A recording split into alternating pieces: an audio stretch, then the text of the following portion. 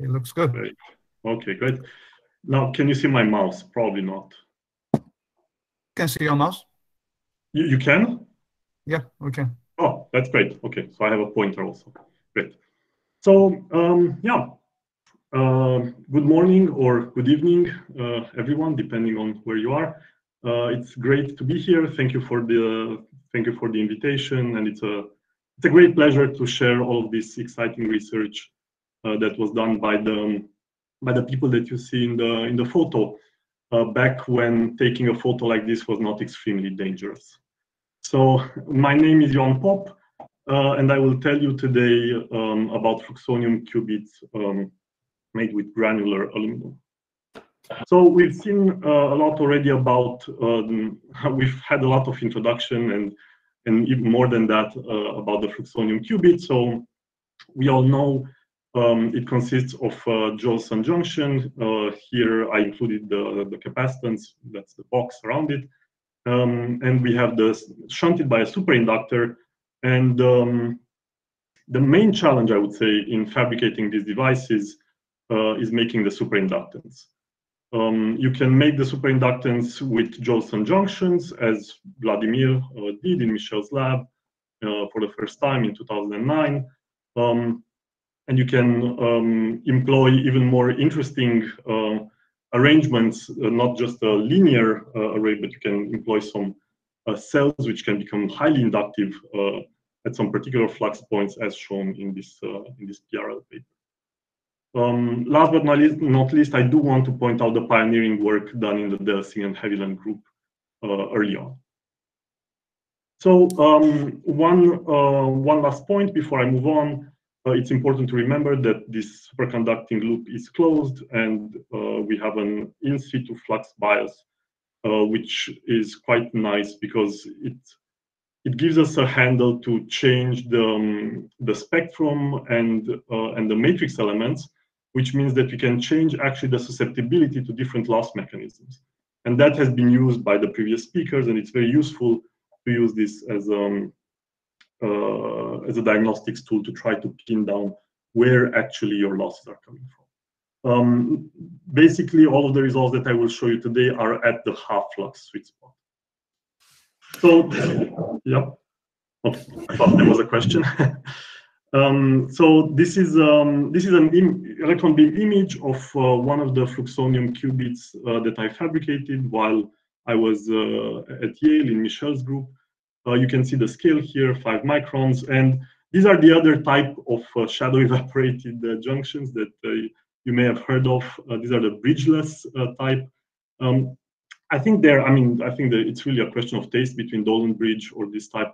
The, the reason I like these is because uh, it allows you to remove the metal uh, in between these junctions and probably reduces a bit the capacitance to the ground. But we've seen that there are more spectacular ways, uh, right, in Vladimir's talk. There are way more spectacular ways of uh, of removing this uh, this capacitance. So, so if we go through this design, um, the phase slip junction is right here. This is the tiny junction. This is the one that gives the, um, uh, the qubits uh, nonlinearity. And then all the other lines that you see are junctions and they form this, uh, this superinductor. And it's versatile in the sense that we can also uh, split some of these junctions like here to have uh, squids which make a tunable coupling to our antenna, which is our readout cavity, which we, um, in this case, actually we put in one of those um, um, cavities that uh, Hanhee introduced in 2011. Uh, but in the rest of the talk, that uh, in, for the rest of the results that I will show you, we put these antennas in um, copper waveguides, uh, similar to the ones that uh, Vladimir showed. Right, so uh, the whole point of my talk is to show you how we can go away from this long array of junctions. Uh, and I do like the junctions. I mean, I'm a, I'm a big fan of junction arrays. And in the end, we are this the um, the solution that I will show you to go away from the junctions. It's still it's still a very long junction array. It's just that um, um, we don't have to pattern it necessarily. It kind of self-assembles. So um, uh, there has been quite some um, excitement in the in the community and quite some nice results uh, in the last few years on, um, as Oleg was also mentioning, on implementing um, high kinetic inductance um, uh, materials uh, in, in, in quantum circuits. So um, all, all these titanium, niobium, nitrides, uh, these are all very, very nice uh, materials. What I will tell you about today is uh, granular aluminum, uh, and it's the most of the results regarding the fluxonium qubit are in are in this are in this summarized in these three papers. And I do want to to say that um, I, I, fully agree with uh, Dave uh, with Dave Schuster's uh, optimism and uh, sentiment that uh, in trying to improve something in the fluxonium, sometimes you can have very nice surprises, and you you will see a small example of that in this case also. Trying to improve this superinductor uh, by going to a disordered um, superconducting film, we actually had some quite some nice surprises. So uh, since this is the first time I think uh, today that this is uh, really mentioned, I, I just want to do a brief introduction of um, to granular aluminum as a material. It's actually a, a um, its name. It's very descriptive. So it, it consists of um, aluminum grains, uh, which are pure aluminum grains. You can uh, you, you can uh, see really like um, a perfect uh, perfect tiny little. You can see them as perfect tiny little crystals, uh, surrounded by a very amorphous um, aluminum uh, oxide matrix, which is also non-stoichiometric.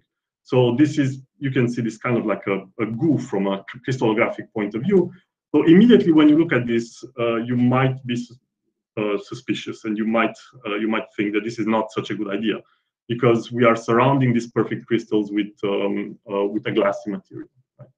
So this material has been known since the 60s, uh, actually, and uh, people have had like a steady interest in it. I, I will not go uh, I will not go through the details, but basically um, these grains very early on have been demonstrated to be uh, rather um, uh, uniform, um, depending on the temperature of the substrate during deposition they are in the range of a few nanometers, um, plus minus one nanometer. So really quite quite quite nice, uh, nicely self-assembled in a way.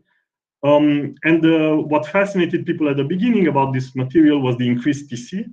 So actually, you know, compared to the 1.2 Kelvin of aluminum, you can go up to 3 Kelvin or even 4 Kelvin if you deposit this on um, on a liquid helium uh, called, uh, cooled substrate. Um, and then there has been a steady interest of, uh, um, for this material over the until now, I would say. Uh, from a fundamental point of view, it was a model system for the superconducting to insulating transition, and it's also a material robust in magnetic fields that has a critical field in the range of like five, six, uh, five, six.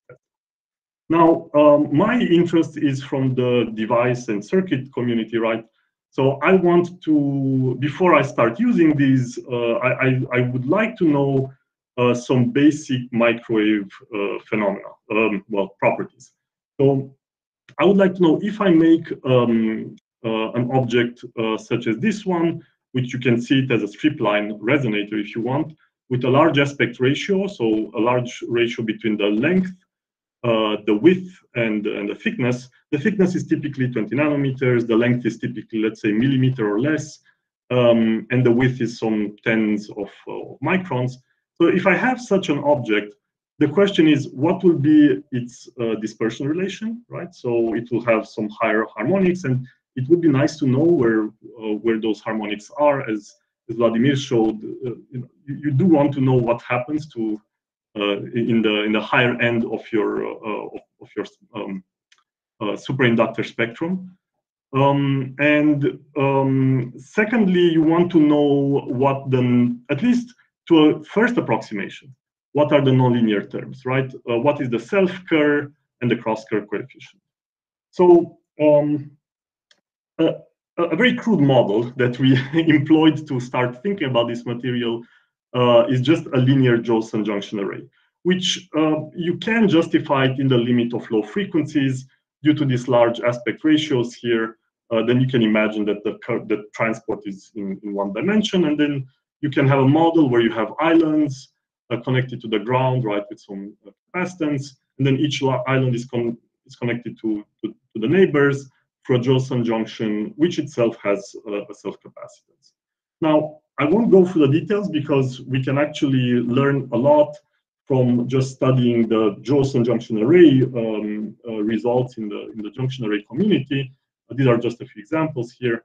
Uh, but the the dispersion relation will be um, linear at the beginning, and then it will saturate to some plasma frequency. And just to give you some idea, uh, for our films, the plasma frequency uh, is somewhere in the range of 100 gigahertz uh, and maybe a bit below. Um, but uh, you know, it's it's way above the typical 20, 30 gigahertz that that at least I employed for the super for the junction array, mesoscopic junction array superinductors. So that's nice. We can push this plasma frequency higher, and maybe that will help in some in some respect. Um, and then the uh, the next question is the nonlinearity, right? So um, I, again, I'm skipping the calculations, but in a way, you can translate the results from the junction array community into material parameters into this formula. So the self-Kerr coefficient, which to some, which is very related to the cross-Kerr also, so it gives the right, the same scaling. So the self-Kerr coefficient will have some um, some prefactor here, which is not that important. Then it will contain A is the grain size. So this, this is going to be the three or four nanometers of your grains, depending on how, how you deposit the films. And then uh, the, the self-Kerr coefficient will be inversely proportional to the critical current density, as you would expect, and it will be inversely proportional to the volume, um, to the effective volume uh, of the, um, uh, of the uh, current mode, let's say, right? So this is not exactly the volume of the resonator. This is the volume that sees current. So uh, how does this compare? How does this crude model, right? This is coming from a 1D Josephson junction array model. How does this compare to reality? So what we what we are showing here, what we've done in this paper is to to do a survey over um, several different samples with several different um, uh, resistivities, which translate into different critical current uh, densities and quite a wide range of um, volumes for for, uh, for the uh, mode. Um, while the frequency is more or less constant, this is given by, of course, as you all know, by the uh, instrumentation. So on this axis, we plot uh, the, the term, the frequency divided by critical current and voltage term, and on the other axis, the, the, the actually measured self-Kerr. And uh, the black line is actually a calculation. So there's no there's no free parameter in the black line. Um, we've uh, put, I think we've used four or five for the uh, for the size of the grain, nanometers. Uh, and, and the points on a log scale, right, with quite some scattering, um, they, they do follow this trend, which is nice. I think um, I wouldn't say this is really a quantitative model, but it does give you a quite good idea of what to expect uh, in in which range. Right? Excuse me. Yes. I have a question here. What sure. is how do you determine the volume of the granular aluminum? Is that measured, or is it oh. determined oh. some way? Um, in a way, if you want, it's the participation ratio uh, of of the granular aluminum that sees current, that actually sees uh, electrical current. So if you if you just think about, um, imagine that you would have a constriction in the middle, and then you have some big granular aluminum pads, which are just capacitors. Of course, you should not count that volume, but you should count the volume that actually sees current. So it's a weighted average, if you want, of the um, of the volume that sees current. Okay, I don't understand, but let's go on. Um, okay, how, how can I formulate that easier? So um, I, I, I want to know he's asking, what measurement. He's asking how you determine it. Is volume of the granular aluminum something you measure? Or uh, well, that... for, so for yeah, for for a stripline resonator, basically within a factor of two, it's the volume of the stripline resonator. Okay, thank you. Right, it's the volume of the material that actually sees uh, current uh, for a particular mode. Okay, so that's actually the volume of the thing uh, that you measure and determine. And then the A parameter is some kind of size of the granules, which yes, you exactly. assume. Uh, could you repeat that? I, it cut off. A, the factor A is the, the size of the, the granules, which you assume. uh, well, actually, we don't have to assume it. It was measured early on in the 70s. It was measured uh, thanks to the work of Guy Deutscher, and it's in the range of uh, three to four nanometers, depending on how you deposit the film. Okay, I'm good. Thank you. Great. Yeah, yeah. So please don't hesitate to interrupt. It helps to calibrate the speed of the talk. Yeah. Right. So um, the the different colored points here actually correspond to different, let's say, um, nonlinearity regimes, which give you an idea of what devices you would use this material for, right? So in blue, um, this is a very low self-Kerr regime, which is where you want to be with superinductors and also with kinetic inductance detectors, right? So in this regime, in a collaborative work uh, with um, with the NIKA team in uh, in the Institut Néel in Grenoble, we've actually made some kinetic inductance detectors, which are quite interesting um, out of uh, out of this material with very high kinetic um, with very high kinetic inductance fraction because know, this material can have like an easily nanohenries per square uh, kinetic inductance. Now, in the intermediate regime, this is the regime of uh, up to kilohertz um, uh, self-Kerr. Uh, this is where you you would want to use um, this is the nonlinearity that you would like to have for parametrically pumped devices, right? So if you want to build an amplifier, for instance, uh, this is where you would want to be. And um, to give you an idea, um, well, I'm I'm featuring here some some data measured with a different type of amplifier, uh, with an amplifier with actual Josephson junction arrays that we made in our lab, um, we, which we nicknamed uh, Dimer Josephson junction array amplifier. Uh, but since the model that we show here for granular aluminum, it's exactly a junction array model, right? um, we are pretty confident that we can apply basically the same design strategy and build very high dynamic range parametric amplifiers using this material. Uh, and yes, I do want to point out that uh, this work was done in collaboration with the group of Nicolas Roch uh, in, uh, in Grenoble. And finally, the, you know, the last type of devices um, is uh, if you can push the nonlinearity high enough, you might be able to get qubits, right? So basically you're going to get a, some kind of a transmon qubit where except you, you don't have one junction, but you have some array of junctions, right? And indeed, we've uh, made a device where we tried to minimize the volume, right? And we tried to um, uh, to decrease the critical current to some degree, and we could measure a, a qubit with an anharmonicity of about five megahertz. And here you can see the, the, the dependence of the Rabi oscillations. So this is how the device looks like, right? It's a bridge um, of granular aluminum shown in blue, and it's connected. Everything else in red uh, is aluminum, right? Because we want to uh, we want to have some large capacitor, um, and uh, we we see we measure T1s in the range of three microseconds, and we understand this is this is clearly Purcell limited. It comes from from the way we measure this.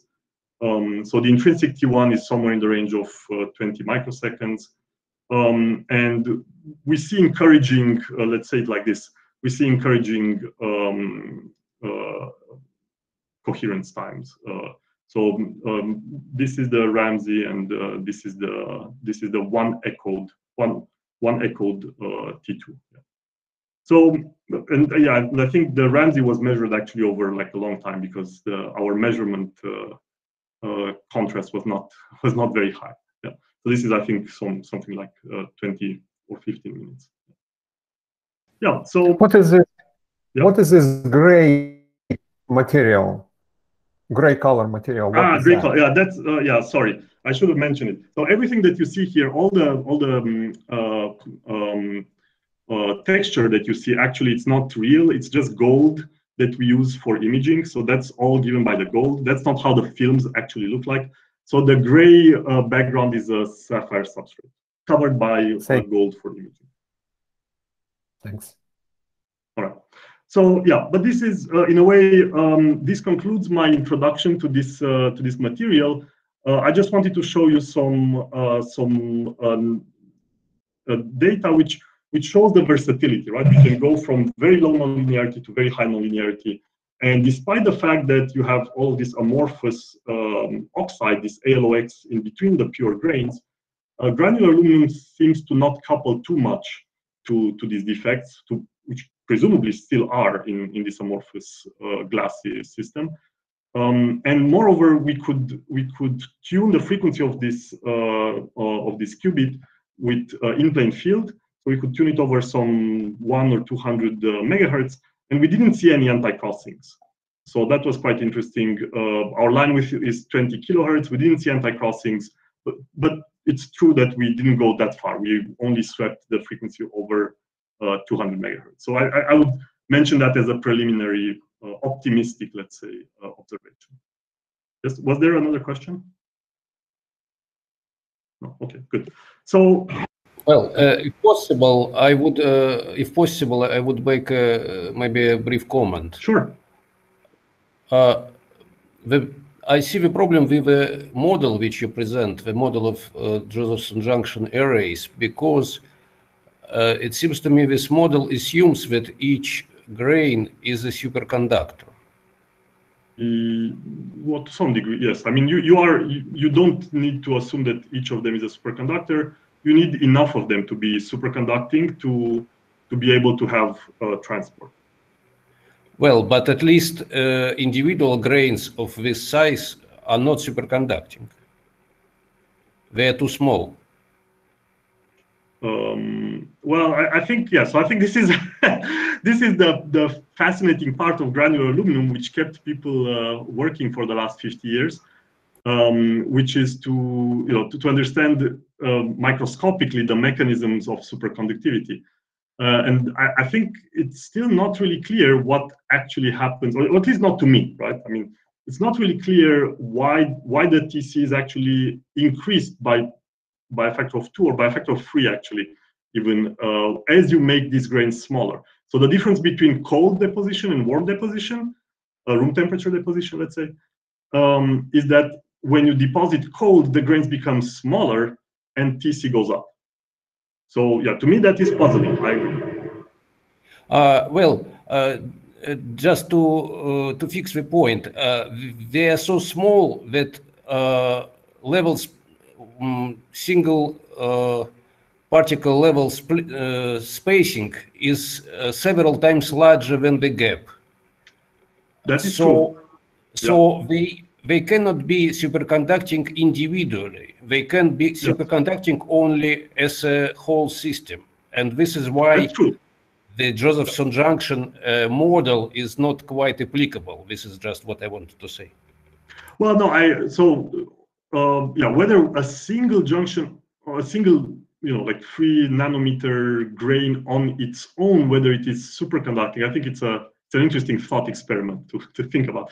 But uh, uh, the, clearly, there is a collective uh, there's a collective behavior here because we have billions of these grains uh, coupled to, each other through the through the alloy uh, LOX uh, through the through the amorphous oxide, right?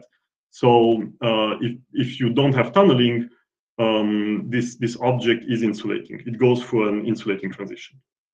That yeah, that's clear.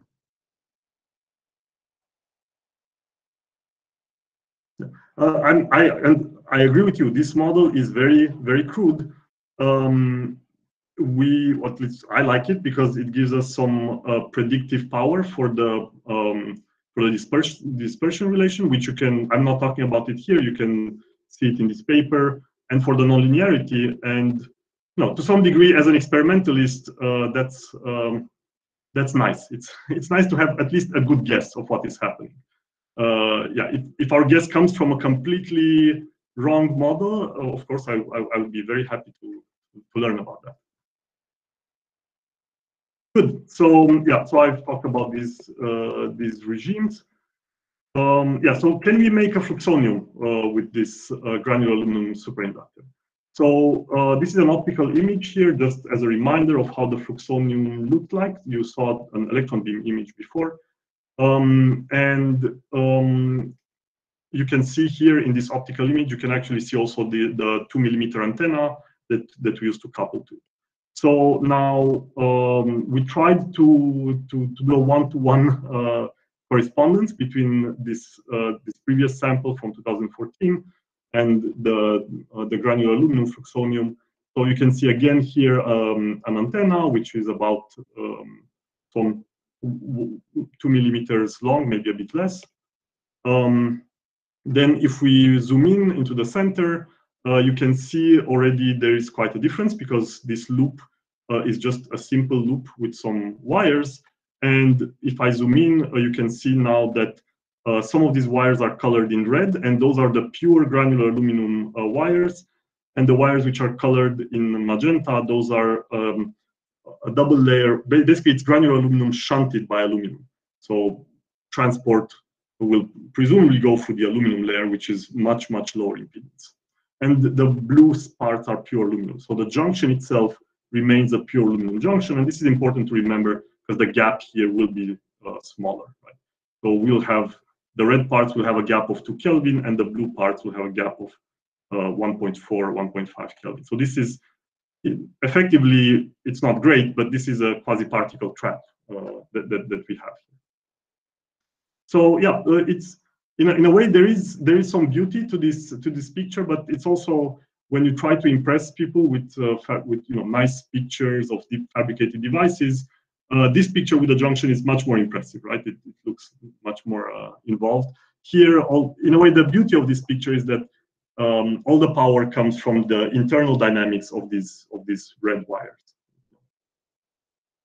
Good. So how does it perform? Uh, so this is a T1 relaxation. This is a typical, I would say, T1 that uh, we can measure at uh, at, at half flux. Uh, we see some tens of microseconds of T1 relaxation. Um, you can see here that uh, there, there are some fluctuations. Uh, and you can see that we can do a single qubit gate, so a pi pulse, um, in about 10, 10 nanoseconds. Um, and I think we, we can go faster, but to do that, basically would have to push the Rabi frequency close to the qubit frequency, and then we would have to deal with all these um, uh, non-RWA um, terms. And um, well, thanks to the work of in the group of David DiVincenzo, we think that it's possible to deal with all of that. Um, we just have to figure out uh, technologically how what electronics we need to do that uh, in an efficient way. Um, and the coherence time. So this is a this is a T2 uh, measurement without any without any uh, echo, uh, and this this is also without without echo. And if we echo, we get something very close to to to, to T1. So it, it seems like uh, this qubit uh, is not world uh, world record breaking, but it is it has a very decent very decent and promising coherence. So here's one of the nice surprises that I was telling you about.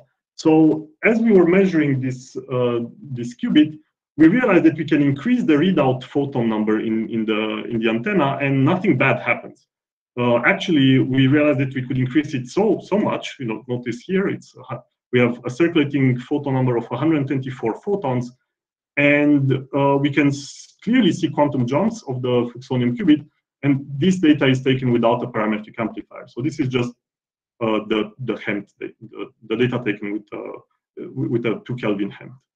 Um, and you can see that uh, the qubit doesn't uh, leak too much, at least, not from this data, uh, to higher states, and it doesn't seem to be very much affected by this photon number, which was not the case in at least in the previous Fluxonium qubits that I was um, used to and that I measured, where even one or two photons could actually uh, increase by orders of magnitude the relaxation rate, gamma down.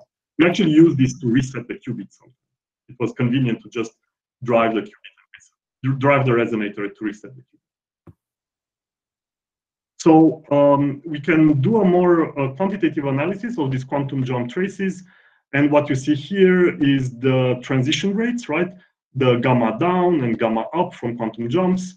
Uh, we have the decay during uh, during readout. So this is with the readout pulse on. Um, and then we have the free decay. So this is without uh, with, uh, without photons in the resonator. And uh, you can see that um, overall, I mean, there, there's not a clear trend. This is kind of overall flat, but we do have some peaks here, which are somehow reminiscent of uh, what um, the, the Google group actually reported in 2016. We, we do not, we currently do not, do not explain these peaks. Uh, maybe it is actually some resonances with some higher levels. Uh, we have to look into this uh, in, into more detail. but the, the nice feature is that uh, we can go up to 200 photons and nothing dramatic changes, in, in, I would say, in this picture. And if we look at the temperature of the qubit, we see that we start from an effective temperature of 29 millikelvin, very close to the 31 millikelvin of the fridge. And then actually this, this temperature, the temperature is constant here, but the population that you would expect for the qubit changes because of the AC Stark shift, the actual frequency of the qubit changes. And that's why this is a bent, uh, bent line.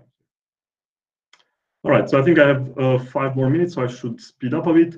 Uh, so we can, again, this is data without a parametric amplifier. We can um, we can measure very nice um, uh, blobs in the IQ plane corresponding to the two states, right? So this is the ground state, this is the excited state. This is uh, measured at 98 circulating photons. Um, and we can use some fast electronics, like some fast FPGA card, to reset the ground state um, or reset to the, to the excited state. And when we reset to the excited state, we can actually see that there is a little bit of extra population here, which corresponds to about 1% in the F state. And uh, okay, so all of this data is taken with a measurement pulse of 500, about 500 nanoseconds. Now, this is not to say that we don't need parametric amplifiers anymore. Uh, this is just to say that um, the qubit is uh, somehow surprisingly resilient to, to read out photons. And if you add a parametric amplifier, which is also resilient uh, to photons, basically a high dynamic range parametric amplifier, everything gets better, right? Then you can actually see much more. So this is the, the same qubit measured with one of these double Josephson junction array amplifiers. Um, and now, you, so the integration time is 16 nanoseconds here, and it's much shorter than the, than the resonator response time. So actually the points that you see in between the blobs here, in between G and E, these are not averaging, uh, these are not coming from averaging a qubit uh, quantum jump, but these are just the response time, the classical trajectories corresponding to quantum jumps, and we can actually calculate them. So you have, you have an example here of the of two two such trajectories. So yeah, we this we find this very nice, um, and we don't really have a good explanation why uh, why the qubit is so resilient uh, to read out photons. Um, I'm I'm happy to to hear suggestions and uh, yeah, I'm, I would be very happy if we could come back to this in the discussions. So um, maybe in the last few minutes, a, a, few words about the coherence sources. So in, in this paper right here, we've actually shown that the dielectric loss tangent at the surface of granular aluminum is very comparable to, um, let's say, to, to, pure aluminum, although pure aluminum also gets oxidized at the surface. Um, so, um, but but our quality factors are slightly below that. So uh, what what uh, what pushes the quality factors uh, lower? Well, we believe it's quasi-particles. We in and in particular in this material, quasi-particles can live for a very long time, and you can see here a plot of the um, uh, response of one of these uh, granular aluminum strip line resonators uh, in the absence of any excitation. And you can see, so this is time versus time. So this is like a wrapped, if you want, wrapped very long time plot.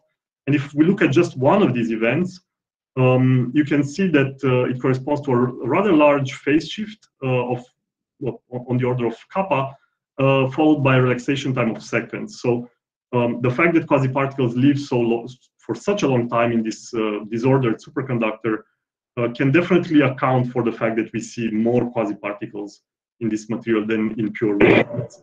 But it, it is also a very nice diagnostics tool because you can you can see all of these effects with a huge contrast. So these, uh, by the way, in the kinetic inductance community, these these kind of impacts have, are well known, and uh, people associate them with, um, with, an energy release in the substrate, uh, which um, can give up to one keV of energy released in the device itself. So in the substrate, this energy is orders of magnitude uh, larger. So the the not the, the the let's say worse news is uh, is that these these impacts that uh, we are reporting here they are also correlated in time. So if we look at uh, pairs of resonators, for for instance, resonator A and resonator B or resonator A, resonator C, um, these frequency shifts uh, occur in the same time uh, quite often. Very rarely we see a frequency shifting on, on only one axis. So you can you can read about it in this recent paper, and it's uh, it points to a to a source of uh, decoherence, which was also um, pointed out by the um, MIT group, which is radioactivity, right? I mean these these energy releases in the substrate uh, are very likely coming from some uh, ionizing interactions in the substrate. So can we do anything about them? So of course, since I'm asking this question, probably yes, we can do. So there are two things that we have tried so far. So one thing that we've tried is to actually fight this, these effects on chip.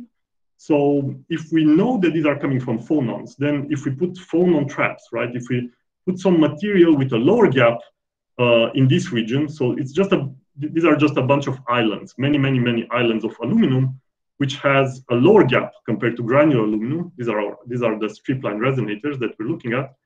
So uh, you can see them here. So if we put some lower gapped material next to our higher gapped granular aluminum, um, Cooper pair breaking phonons will be down converted and trapped to frequencies below the gap of the, the aluminum, right? So they will not, we will still have a lot of energy in the substrate uh, in the form of non-equilibrium phonons, but they will not be able to break, uh, at least not easily, um, Cooper, pair, Cooper pairs in granular aluminum. So uh, that works quite nicely. So here we have a witness where we don't have traps, and this is the um, this is the frequency basically, uh, just measured uh, in time, in minutes, and you can see there's some uh, low frequency, you know, like one over f noise, and then there are these impacts uh, that I've uh, highlighted before, shown by these crosses, and then we put we cover 19% of the substrate, we cover it with, with these phonon traps, and obviously things get better, right? Even visually, if, if you look at it, and we quantify this effect, and it's this effect is actually reliable over all the resonators that we've looked at. So another thing that we can do, uh, and this is the last uh, the last topic I will uh, I will talk about, is that we can actually go, as as Will Oliver was saying, uh, we can actually go uh, underground and try to, um, to decrease the number of um, ionizing impacts uh, that, that uh, can, can happen in the substrate. So um, uh, we have three types of devices here that we will all uh, we will baptize by the by the initial right K from Karlsruhe. That's where where we are right now and where our lab is. R for Rome. That's where our collaborators have an above ground cryostat, and Gran Sasso for the underground laboratory in under the mountain called Gran Sasso uh, in Italy, so, which has a very easy access. It's just a, an exit from the highway, and you can access a shield of 1.4 kilometers of uh, nice low radioactivity granite. So, um, and, and there is a cryostat there, which we equipped for, for these types of measurements. So let's see, let's see what happens. So when, when we do our measurements in Karlsruhe, uh, for now, please focus only on this panel. Um, the other panels basically show the same thing. Um, so if we just uh, focus on this panel, uh, what you see here is the rate of these quasi-particle bursts, right? So we start from one every few seconds right here in Karlsruhe. And then we do some cleaning of the materials. Of course, I don't have time to explain it, but I'll be happy to, happy to give you more more details later. We can do some cleaning to decrease the local radioactivity. Um, and then we measure in Rome and we see that uh, we are able to consistently reduce the, the rate of these impacts ju just by doing some radioactive purification, let's say, uh, and hygiene uh, uh around our sample holder. Um, and then we go underground and of course, as expected in this very pure environment, uh, we, we measure a very low rate uh, of impacts, um, basically two orders of magnitude uh, below what we measure in Karlsruhe. We can push back this rate actually quite easily. This point here, which shows an increase by a factor of two in the, um, in the burst rate, is just removing the lead shield. So the cryostat had a lead shield, very similar to the one that Will Oliver showed in his talk, just that we didn't have it on a, on a winch. We had to like manually remove the lead the lead bricks. Um, and then we see a factor of two increase in the impact rate. And if we bring a thorium source, so we have a little very small radioactive source, you know, the, the kind that is allowed in the tunnel, um, and then we can get actually an impact rate even higher than uh, than above ground, right here. So uh, how does the quality factor uh, change when we go underground? Well, between Karlsruhe and, and underground, we see a consistent uh, improvement up to a factor of four uh, in the quality factor for this resonator, factor of two for this one, and a bit less for this one. Um, and then when we go back to Rome, so this is the, the arrows show the chronological sequence of measurements. Um, when we go back to Rome, the quality factor decreases again, sometimes below the, the Karlsruhe value and actually sometimes above the Karlsruhe, Karlsruhe value. This, I, we don't really understand why. Um, yeah, so that's the um, uh, that's the main story. Now the the um, the nice thing to appreciate is that the subtle, let's say a subtle thing to appreciate is that well, with the thorium source, we we increased the burst rate um, above ground level, uh, like above the value that we measure outside the tunnel, but the quality factor only decreased by 20%. So this tells us that not all impacts are the same, right? So we, these impacts are somehow, somehow, somehow um, really saturating our detector, let's call it. Um, so we don't really see everything that's happening. Some impacts are doing more damage outside than the impacts that we managed to recreate uh, in, in, the tunnel. Um, but even, even so, with the source, we saw we saw a clear decrease in the quality factor. So uh, in conclusion, I think, uh, as we've seen from all the other speakers, uh, high impedance circuits are very interesting in emerging field for quantum information processing, and they, they offer several advantages. From my point of view, I think the anharmonicity, the rich spectra, like, like Vlad was mentioning, and the fact that you can localize the modes, basically you can hide both magnetic and electric fields. Uh, these are quite big advantages if you think of it from a scaling perspective. Um, granular aluminum in particular, I think it's a, it's a promising material. Uh, I certainly like working with it and I will continue to, to work with it. Um, but quasi-particles, especially in these disordered materials, um, are, are a big problem. In junction arrays, maybe they go away faster, um, and then maybe they are less of a problem. Uh, but in, in these uh, disordered materials where quasi-particles can live for seconds, we certainly have to find ways of dealing with them. And I, but I've shown you there is hope, right? Uh, so either on chip or or by um, shielding radioactive sources, I think we can uh, we can improve. Uh, we can we can decrease the generation of quasi particles quite a lot. Okay, thank you very much, and I'll I'll be happy to take uh, questions.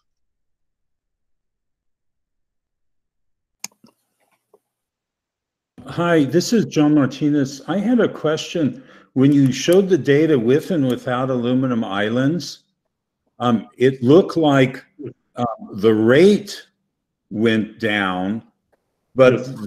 the heights, um, it, it, was more the rate and not the heights of the pulses, although it's kind of hard to I know. Uh, yeah. Have you, is there a conclusion there or you don't know yet? No, no, I agree. The, we don't see a change in the height actually. So okay. the the if these are very broadly distributed, so we see all the heights, and uh, I think what this points out to is the fact that our detector just saturates. Um, it's, it's yeah. saturated by the large events, and then probably when we put the the phonon traps, the large events become smaller, but they're still way larger than the than the saturation. So they still saturate our detector. So how much did your the rate go down? I mean, I'm going to guess a factor of 30 or so from looking at those two plots. But eh, did you quantitatively? Uh, no, no. Well, yeah, yeah. So we have. Oh, I I removed the plot because I thought I didn't have time to talk about it. Uh, it's in the paper, so it's in, you can find the plot in this paper for all the resonators. It's it's a factor of like a, a few. It's not 30. It's a factor of uh, of like um, so, something like a factor of two to five, something like that depending on the feeding factor. Or when I look at your plots, it looks much more than two or five, at least if you count the small ones. Yes, yes. So if you count, so the small ones, uh, those are actually not uh, on this scale. You cannot appreciate that, but these are not actually impacts, and or at least not in the substrate. We don't know what they are, right? So they could be oh, small ones. You don't know. who knows what they are, right? So, but they, the, they don't look like the big ones because the big ones are really a one pixel drop, right? Like like you could see it here. Right. So there's there's just like very quickly. There's no there's no basically there's no rising time. Uh, whereas these other ones that we we did not single out with a with a cross here, uh, if you look at them, you can see that you know the rise time is is more abrupt than the relaxation, but you can clearly see a rise time and a relaxation. So this could be impacting the sub in the holder itself actually, in the sample holder, which Okay. then propagate through the substrate. So there's two kind of events, small and, and fast ones. Okay, good. Maybe I, I think I think the honest answer is that there's a lot that we don't know about this system. so we are we are just like uncovering a bit the the various the various phenomena.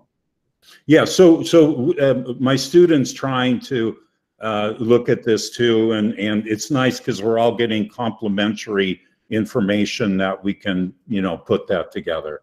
So thanks. Oh, that's great.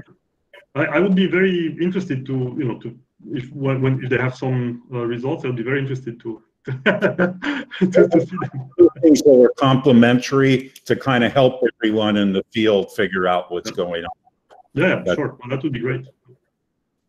Thank you. Sure. Okay, so we have to switch to the discussion session. We are running out of time.